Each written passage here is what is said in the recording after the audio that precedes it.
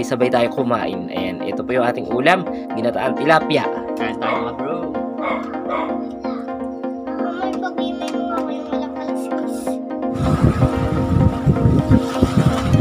Mga bro, dali! Ayan, size. Ganda ng size, mga bro.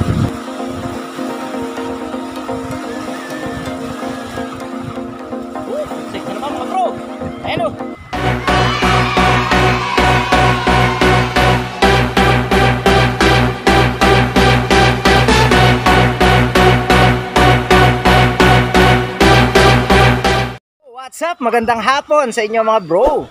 Ah, pasensya na kayo, dalawang araw tayo na hindi nakapag-vlog. Bagong araw, panibagong fishing adventure tayo. Ngayong hapon mga bro, narito tayo sa Barangay Subay ulit. Dito lang sa may bungad ng Gatawan, sa may bahayan dito. So, ayan. So, dala natin yung ating ano, motor. Ayan, si Ducati. Ayan, tsaka si Tol, nauna na, doon sa spot. Yan, ang pagbabalik. Sana makahuli tayo. Ayan, na-miss nyo ba? PH mga bro. Kasi kayo, na-miss ko, no? Bro, spot natin, dito tayo. At medyo malakas yung hangin at malalaki yung alon. Dito lang tayo sa ah, bahayan ng Barangay Subay. Maalala nyo mga bro, nakaraang taon, ah, dito tayo nakahuli ng mga mamaw. Ngayon lang ulit tayo makakalawit dito mga bro dahil dati maray water lily dyan. Tsaka yung lumot, wala pang lumot dito dati. Pero sabi kasi nila, meron na raw lumot dito. So check natin. Yan mga bro, kung mapapansin nyo dito, may mga lumot na. Ayan. So si Tol, andun. Ayan, andun siya. Lakas ng hangin, tsaka alon. Nako, pangit na naman ang audio natin. So tara, punta muna tayo doon kay Tol. Ah, nandun siya sa unahan, tapos may nakita na rin tayo na anglers doon. Ayan, samahan nyo kami. Mga bro, mapapansin nyo yung lawa, malabo. Ayan, sobrang labo ng lawa. Sana makahuli tayo kahit malabong malabo. Ayan si Tol. oh. Ah, bumato na. Tata Levi, magandang hapon. Ayan. Si Emon ba yun ah? Ayun, si Pre Emon nandun mga bro. Ayan, sama natin. Alright, set up na tayo mga bro para tayo makalawit na rin. O tara.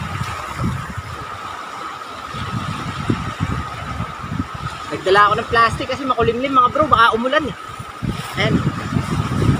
Pagka umulan, babalutin natin yung ating cellphone. So, gagamitin nating hook mga bro, number 9. Ayan. Ito, medyo malaki ng konti. Try natin. Ayan, let's go. Tara. Ayan mga bro, dito tayo. Sabi ni Tol.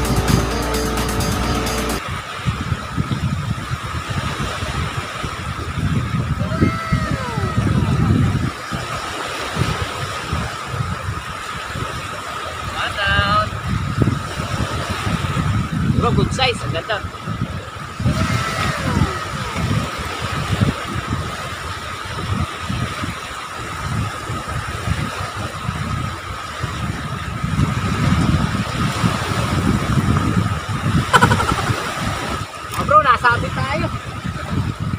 Kala ko huli. Sabit pala. Babasa tayo. Okay lang, di pa naman tayo nakapaligo. Di ba kaya? Para kaya naman din. Parang pa.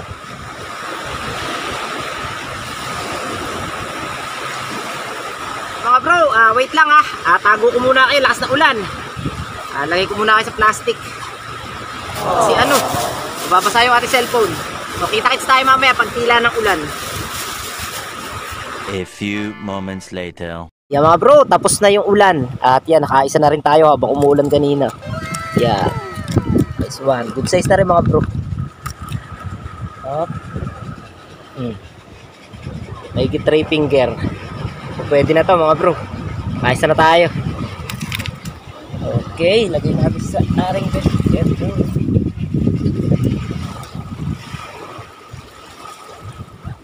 Ayos na. Up. Okay. Good size.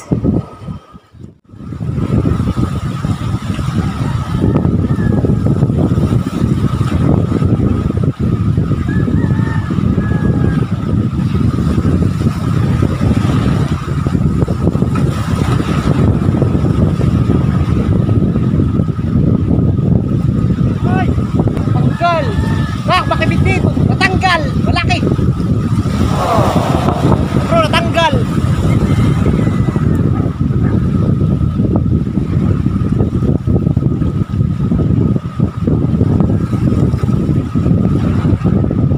Babaw nga lang ay.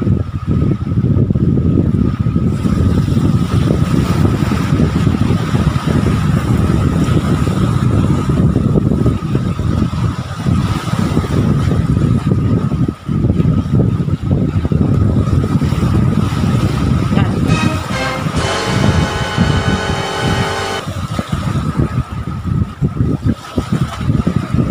Dali. Ayan, size. Ganda ng size, mga bro. Dalawa na.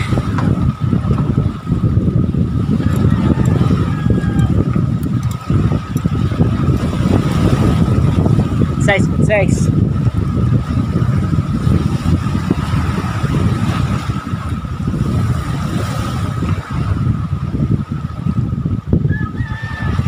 Alright, dalawa na. Lawit pa tayo.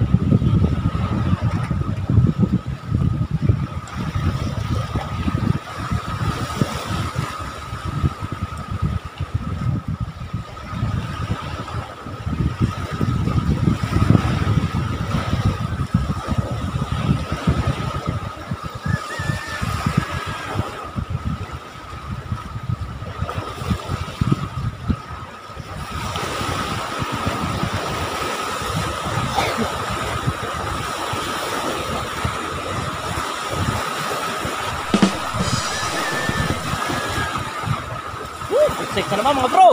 Ayan o.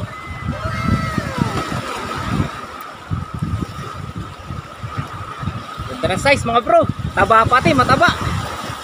Narito lang pala tilapia. Nakakatatlo na tayo mga bro.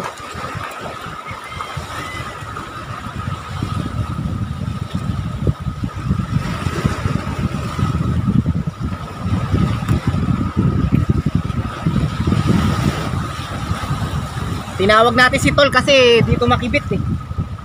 Para ano, para mabilis tayo makarami. Pinagdalawahan na namin mga bro. Ah, magkadikit na yung aming ano. So, mga bro, nakikita nyo ba yung floater natin kung paano siya kinikibit? Kasi may mga nagtatanong sa atin, ano raw ba yung kibit ng tilapia pagka ano, pagka malalaki yung alon. So yan, makikita nyo mga bro. Basta pagka yan ay panilubog mga bro, ah, ano, tilapia na yun. Pero meron din minsan kasi sumasabit lang siya sa ano, sa bato. Pag sumabit kasi yung mga bro, lulubog din siya. Kaya minsan yung mga lumulubog na ganun, parang ano, ah, sumasabit din siya sa bato.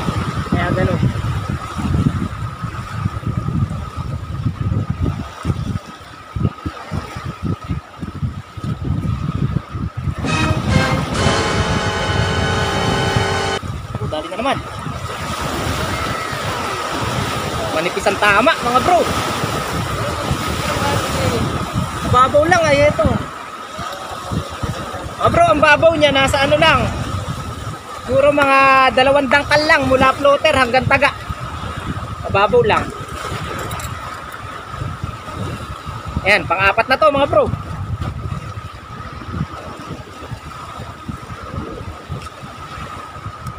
Ayan, oh, apat, sandali pa lang.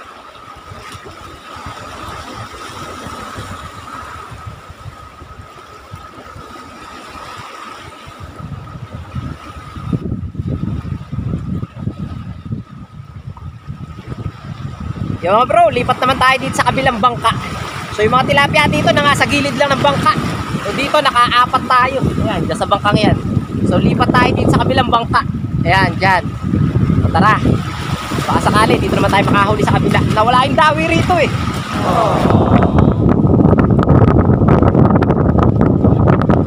Oh, bro, wait lang ha. Sobrang lang ulan. Ayan, pagdating na ulan. Malakas.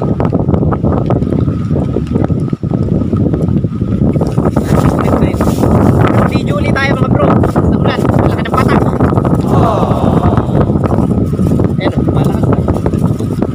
One hour later. Mga bro, fishing ulit tayo, no? Medyo malakas yung ulan na dumaan at medyo matagal. So kanina sumilong tayo doon sa ilalim ng bangka na malaki. So yan, tuloy ulit ang ating pag-fishing. Na. Tapos pagka umulan, ah, parang hindi na naman uulan. Pero pag umulan, tigil ulit tayo. Para hindi mabasa yung ating cellphone. So tara, samahan nyo. Narito pa rin tayo sa mga gilid ng mga bangka, mga bro. Ilan na? Dalawa. Ah, dalawa dito. Mga bro, narito si Pre JC, oh, pre. Sa naman. Ayun. Charot sa kanila kuya. Ayan. And then, nangingiwas din sila.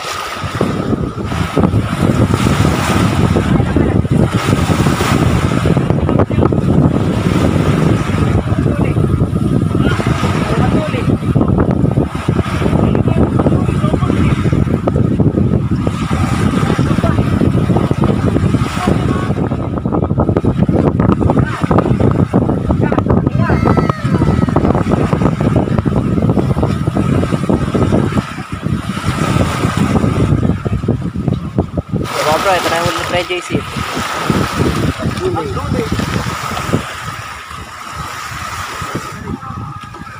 Aminan. Dami na mga bro. Dito naman tayo dito. Meron na ba? Dalawa.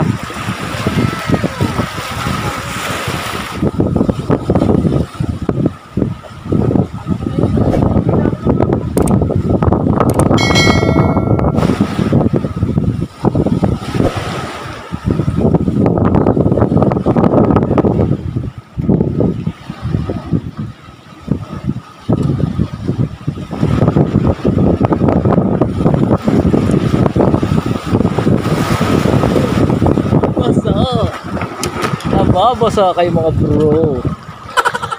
A few moments later. Yung mga bro, time check. 4.30pm na. At yun, hindi na nasundan yung ating huli kanina. No? So kanina naroon tayo mga bro. Doon sa mga maraming bangka. Ah, doon tayo nadawian. Tapos nung lumipat tayo dito, ah, wala na. Wala na tayong nahuli. Pero si Tol nakahuli pa ng mga ilang piraso dito.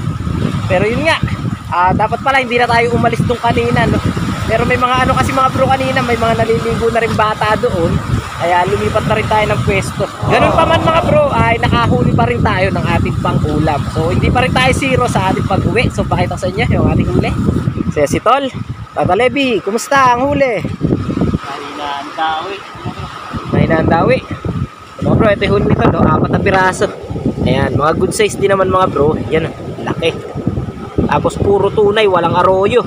Yung kay Tol na tatlo, ah, mga buhay pa mga bro. Ayan, oh, buhay na buhay pa. Kasi nitong huli lang din nahuli yan. Tapos ito naman yung huli natin mga bro. Ayan, mga good size din. Lalaki. Ayan, oh. kaso malapit na siyang mamatay kasi kanina pa natin to huli. Ayan, oh, sunod-sunod huli natin kanina eh. Ah, bale ang huli ko, limang piraso tapos apat kay Tol. Nakaano rin tayo, siyam na piraso. Ayan, tukoy na tukoy din ang ating ulam. Ay, ay, ay. Mahina ang kagatan mga bro. Oh, bro, ah, uwi na tayo. At yun, sarap ng ano dito, no? ginhawa. Ah, malilim na kasi yung araw nasa likod na. Ah, sarap ng tama ng hangin. Ayan na. Saka magandang lugar talaga to mga bro kasi ano, kitang-kita mo yung ano, yung tapos yung kabila. Ayan. Mga bro, maraming salamat sa pagsama sa atin ngayong hapon dito sa pamimingwit natin. Dito lang sa may pungad ng Gatawan, Barangay Subay, Amihanan. A few moments later.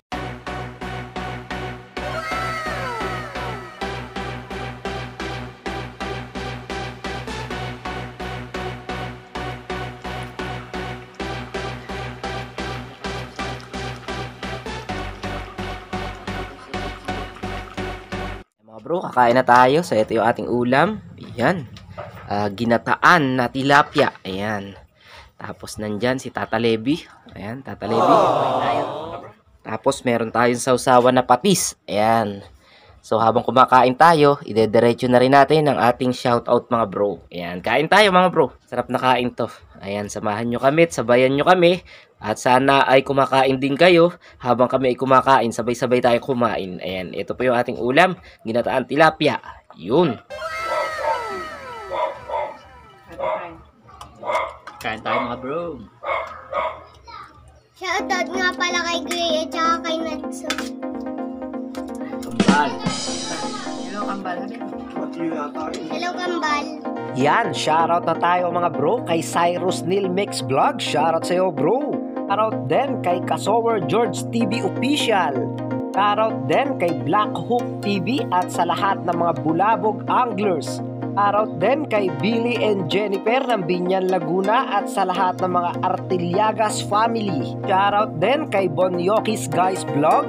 Shoutout din kay Dudes Del Rosario ng Libid, Binangonan Rizal, watching from Taiwan. Shoutout din kay Bro Big at Remy, dyan sa Las Vegas. Shoutout din kay Junel Paralejas, dyan sa Batangas. At si Robert Roy Jared at Ferdy.